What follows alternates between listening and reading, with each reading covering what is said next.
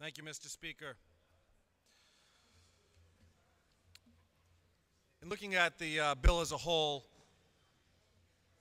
I certainly am someone who opposes aversion therapy, some bringing on pain and suffering on onto a child uh, as they contemplate some very challenging moments in their life where they're they're experiencing change and experiencing situation that is is unique and new to them. And the idea of bringing pain on a child is, is, is uh, unheard of.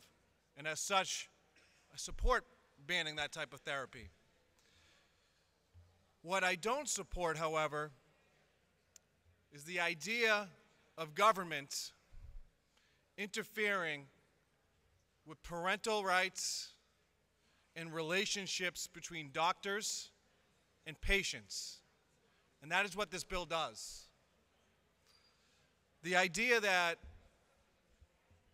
a doctor can't speak to a 12 year old child about some alternatives, maybe, to permanent life changing surgeries without being in violation of a law and potentially losing their medical license is crazy to me.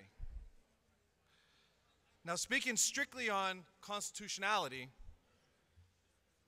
similar counseling bans in other states have, have already been recognized as violations of free speech.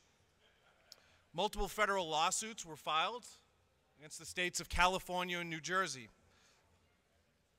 uh, around the idea of banning talk therapy. These laws declared that professional speech between mental health professionals and families they serve were not protected by the First Amendment.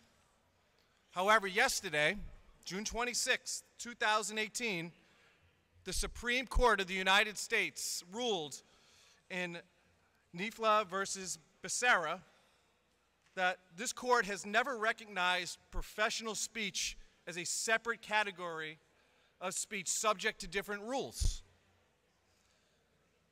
speech is not unprotected nearly because it is uttered by professionals. The courts reaffirm that doctors help patients make deeply personal decisions, and their candor is crucial. So, my friends, I think we're all in alignment in the opposition of aversion therapy, but this bill before us will violate the very ruling that the Supreme Court of the United States just made yesterday. This bill will end up in court.